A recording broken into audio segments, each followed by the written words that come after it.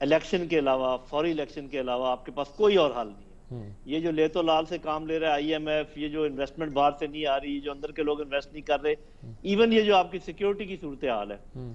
इसका ताल्लक आपकी ये जो अदम इस्तेकाम है पोलिटिकल जिसने पैदा किया है माशी अदम इस्तेकाम उससे स्पेस मिली है हमारे दुश्मनों को भी। ये सारी चीज़ें मिली हुई हैं। और अगर कोई ये समझता है कि नहीं मिली हुई तो वो फिर ये है कि हमसे ज़्यादा इंटेलिजेंट है। मैं और मैं पहले ही मान रहा हूँ कि मुझे इन चीज़ों का मालूम नहीं है। और दूसरा ये कि ठीक है इस पर मेरा ख्याल है ज़ोर देने की ज़रूरत नहीं थी कि ये चेंज आई नहीं थी या गैर आई नहीं थी। अब तो इतनी चीज़ें सामने आ गई हैं कि इस पर तो बात करना अब सा अब सा बिल्कुल ज़रूरत भी नहीं है हम्म। कि ये चेंज क्या थी। हम्म। अच्छी तरह सबको मालूम है ये चेंज क्यों थी। उन्होंने खुद बता दिया कि ये चेंज क्यों थी। ये क्या दस्तगीर साहब क्या कह रहे थे कि ये उन्होंने कहा ना टीवी पे आके चेंज क्यों थी? फिर भी अगर कोई कहे कि जी ये ऐसे थी और वैसे थी जब खुद मान लिया चेंज करने वालों ने मान लिया चेंज होने वालों ने मान लिया तो इस बहस को तो छोड़ दें।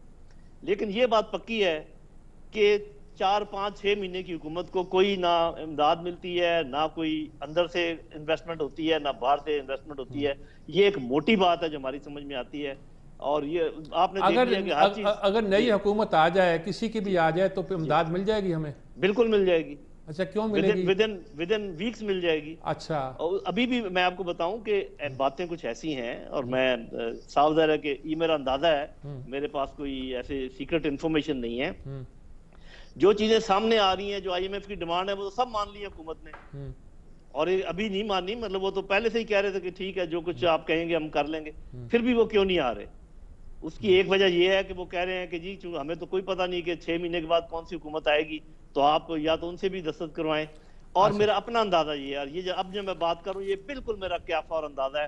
हम्म। इसको बेशक नजरअंदाज कर दें आ, सुनने वाले देखने वाले। हम्म। वो कुछ और भी मांग रहे हैं मेरे भाई जिसका ना आपको इल्म है ना मुझे इल्म है।